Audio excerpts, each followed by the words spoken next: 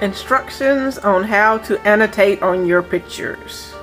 First, open up your library or your folder where your picture is contained. And note that these instructions are for Windows 7. You will have similar items to click on for other versions of Windows.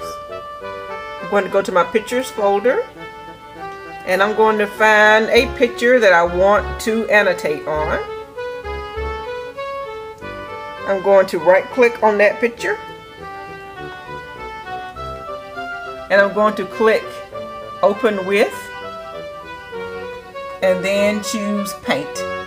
Paint is a program that comes with your Windows software. Now if you have another version of Windows your paint window will look a little different but it will be similar. Now you can choose your drawing instrument can click on a pencil for thinner drawings. You can click on a brush for thicker drawings. Or if you want to fill the picture, you can click on the paint bucket. So go over here to the right and choose a color. We're choosing red.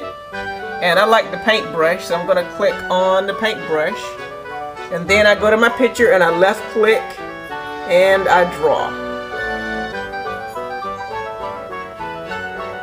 And you could use a stylus. You can use a touchpad mouse like I'm using.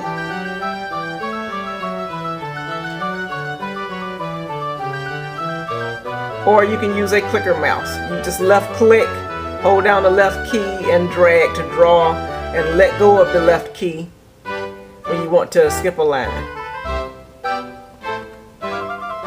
That was my attempt to draw a flower while I'm not looking at what I'm drawing. Or you can write your name or write the pet's name. You could circle around the pet. And if you don't like what you just drew, you can use the undo command. And that's the arrow that points back. You can also use the eraser, but the eraser will take out all the color in your picture. If you click here for the eraser, and then just move your mouse back and forth, notice how it erases everything. And when you're done, be sure to hit save. And that is how you annotate on your picture.